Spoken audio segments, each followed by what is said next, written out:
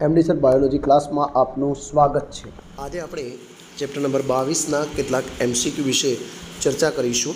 જેની અંદર આપણે સિરીઝ ચાલુ કરી હતી અંદર આપણે એક ટોપિક મૂક્યો હતો, હવે બીજો ટોપિકની પણ ચર્ચા કરીએ છીએ. તો જેની અંદર આપણે ઘણા બધા પ્રશ્નોના ઉત્તરો મળી રહેશે ખૂબ જ સમજ સાથે. તો સૌથી પહેલાં વાત છે કે સિક્રેટિન કયા અંગને ઉત્તેજિત કરે છે? સિક્રેટિન કયા અંગને ઉત્તેજિત કરે છે? તો એના વિકલ્પ આપ્યા છે કે શું ફેફસા, પિત્તાશય સ્વાદુપિંડ કે ગેસ્ટ્રિક ગ્રંથિ. તો હવે થોડીક સમજ મેળવીએ કે સિક્રિટીન જે છે, એ સિક્રિટીન એ સ્વાદુપિંડ પર અસર કરતો અંતસ્ત્રાવ છે. સ્વાદુપિંડ. એટલે કે જઠરાંતરીય માર્ગના જે વિવિધ ભાગો છે, એના અંદર ચાર અંતસ્ત્રાવો આપણને જોવા મળે છે, ગેસ્ટ્રીન, સિક્રેટિન, કોલિસિસ્ટોકાઇનિન અને જીઆઈપી એની અંદર સિક્રેટિનનો સ્ત્રાવ થાય છે અને આ સિક્રેટિન એ સ્વાદુપિંડ પર અસર કરી અને પાણી અને બાયકાર્બોનેટ આયનો જે છે, એ બાયકાર્બોનેટ આયનોના સ્ત્રાવને ઉત્તેજવાનું કામ કરે છે. તો આપણો સાચો ઉત્તર આવશે સ્વાદુપિંડ. બીજો પ્રશ્ન જોઈએ કે નીચેનામાંથી કયો સ્ટીરોઇડ અંતસ્ત્રાવ નથી? સ્ટીરોઇડ અંતસ્ત્રાવ નથી. આપણે જાણીએ છીએ કે ભાઈ અંતસ્ત્રાવની પ્રકૃતિ પેપ્ટાઇડ હોય, સ્ટીરોઇડ હોય આયોડોથાઇરિન એમિનો એસિડના વ્યુત્પન્ન હોય વગેરે જેવી પ્રકૃતિઓ વિશે આપણે ચર્ચા કરી છે. પરંતુ અહીંયા સ્ટીરોઇડ કયો નથી એમ પૂછ્યું છે. એનો મતલબ કે આલ્ડોસ્ટેરોન, તો એ સ્ટીરોઇડ પ્રકૃતિ ધરાવે છે. એન્ડ્રોજન એટલે કે ટેસ્ટોસ્ટેરોન, એ પણ સ્ટીરોઇડ પ્રકૃતિ ઇસ્ટ્રોજન એ પણ સ્ટીરોઇડ પ્રકૃતિ ધરાવે છે. અહીંયા એક જ અંતસ્ત્રાવ જે દેખાઈ રહ્યો છે, થાઇરોક્સિન અંતસ્ત્રાવ. આ થાઇરોક્સિન અંતસ્ત્રાવ એ થાઇરોઇડ ગ્રંથિમાંથી સ્ત્રાવ પામતો અંતસ્ત્રાવ છે, જે સ્ટીરોઇડ અંતસ્ત્રાવ નથી. તો મિત્રો, આપણો જવાબ આવશે થાઇરોક્સિન, જે આયોડોથાઇરોનિનની પ્રકૃતિ ધરાવે છે. તો એ સ્ટીરોઇડ અંતસ્ત્રાવ નથી. અહીંયા આપણો પ્રશ્ન છે, અગ્ર પિટ્યુટરી ગ્રંથિ અને હાઇપોથેલેમસ ખાલી જગ્યા દ્વારા જોડાય છે. તેની અંદર પહેલો વિકલ્પ છે, યકૃત નિવાહિકા શિરા. બીજું છે, મૂત્રપિંડ નિવાહિકા શિરા. ત્રીજું છે હાઇપોફિશિયલ નિવાહિકા શિરા. અને ચોથું છે, નિવાહિકા શિરા.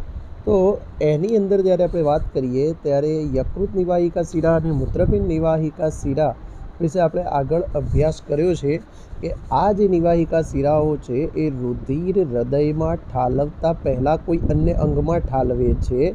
એટલે આ જે જવાબ છે, એ અગ્રપિટ્યુટરી ગ્રંથિના હાઇપોથેલેમસ સાથે સેટ થતો નથી. પરંતુ અહીંયા જે સી જવાબ છે હાઇપોફિશિયલ નિવાહિકા ધરી હાઇપોફિશિયલ નિવાહિકા શિરા, અગ્રપિટ્યુટરી ગ્રંથિ એ હાઇપોથેલેમસ સાથે એક નિવાહિકા પરિવહન દ્વારા જોડાયેલી હોય છે, જેને હાઇપોફિશિયલ નિવાહિકા ધરી અથવા હાઇપોફિશિયલ નિવાહિકા શિરા તરીકે ઓળખવામાં આવે છે. તો આનો જવાબ આવશે સી હાઇપોફિશિયલ નિવાહિકા શિરા. ઓકે મિત્રો.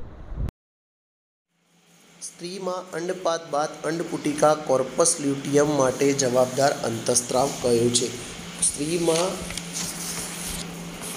અંડપાત બાદ અંડપુટિકામાં કોર્પસ લ્યુટિયમ માટે જવાબદાર અંતસ્ત્રાવ કયો છે? હવે આપણે આની અંદર જે પિચ્યુટરી ગ્રંથિ જે ટોપિકની અંદર ચર્ચા કરી છે તો સોમેટોટ્રોપિન આપણને આપ્યું છે. સોમેટોટ્રોપિક હોર્મોન બીજો છે લ્યુટિનાઇઝિંગ હોર્મોન, ત્રીજો છે મેલેનોસાઇટ સ્ટિમ્યુલેટિંગ હોર્મોન અને ચોથો છે ફોલિકલ સ્ટિમ્યુલેટિંગ હોર્મોન. આના અંદર આપણને થોડો ઘણો ખ્યાલ આવે એ પ્રકરણ ભણ્યા બાદ કે સ્ત્રીમાં અંડપાત બાદ અંડપુટિકા કોર્પસ લ્યુટિયમ માટે જવાબદાર અંતસ્ત્રાવ કયો છે? તો સોમેટોટ્રોપિક હોર્મોન. તો સોમેટોટ્રોપિક હોર્મોન તો અહીંયા આવતો નથી, કેમ કે આ તો વૃદ્ધિ સાથે સંકળાયેલો અંતસ્ત્રાવ છે. બીજી વાત કરું તો મેલેનોસાઇટ સ્ટિમ્યુલેટિંગ પણ નહીં આવે, કેમ કે તે મેલેનિન રંજક કણો સાથે સંકળાયેલો અંતસ્ત્રાવ છે. હવે જે આપણો જે પ્રશ્ન છે પ્રશ્ન છે લ્યુટિનાઇઝિંગ હોર્મોન અને ફોલિકલ સ્ટિમ્યુલેટિંગ હોર્મોન, આ બેમાંથી એક જવાબ આપણને આવવો જોઈએ. તો અહીંયા જે જવાબ આવશે એ એલએચ, લ્યુટિનાઇઝિંગ હોર્મોન આવશે. Luteinizing hormone.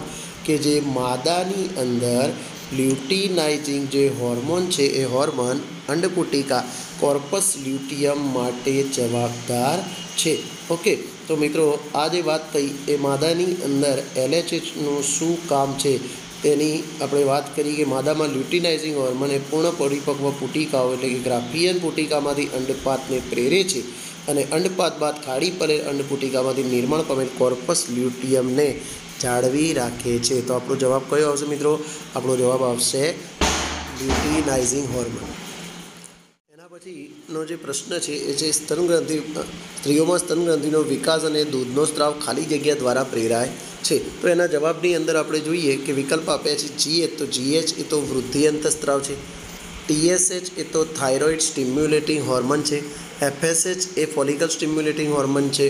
એટલે કે આ ત્રણ જે જવાબો છે, એ ત્રણ જવાબો તો આની અંદર આવતા નથી. પણ અહીંયા પીએચ નહીં આવે. પીએચ પણ હતું, પણ અહીંયા પીએચની જગ્યાએ આવશે પી આર એલ એટલે કે પ્રોલેક્ટિન અહીંયા જવાબ આવશે પ્રોલેક્ટિન પ્રોલેક્ટિન કેમ કે હવે પીએચની જગ્યાએ પ્રોલેક્ટિનની જે પીએચની જગ્યાએ પીઆરએલ આવે છે એટલે પીઆરએલ આપણે ધ્યાનની અંદર રાખીશું જેને પ્રોલેક્ટિન તરીકે ઓળખવામાં આવે છે જે સ્તનગ્રંથિનો વિકાસ અને દૂધના સ્ત્રાવને પ્રેરે છે. સ્તનગ્રંથિનો વિકાસ અને દૂધના સ્ત્રાવને પ્રેરે આપણો પ્રશ્ન છે ખાલી જગ્યા જે અગ્ર પિટ્યુટરી ગ્રંથિના સ્ત્રાવને અવરોધે છે?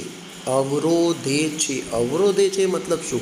તો મેં તમને એક વસ્તુ સમજાવી હતી કે હાઇપોથેલેમસમાંથી બે પ્રકારના સ્ત્રાવ થાય છે એક આરએચ અને બીજા આઈએચ આરએચ જે છે એ રિલીઝિંગ હોર્મોન છે એ પ્રક્રિયાને પ્રમોટ કરે છે. અને આઈએચ છે એ ઇન્હિબિટિંગ હોર્મોન છે જે પ્રક્રિયાને અવરોધે છે. તો અહીંયા સિમ્પલ વસ્તુ છે કે જેની પાછળ આઈએચ લખેલું હશે એ શું કરશે? અવરોધવાનું કામ કરશે. તો જોઈએ. જીએચ તો જીએચ એકલું જ આપેલું છે એટલે તો આ અહીંયા અંતસ્ત્રાવને અવરોધે છે.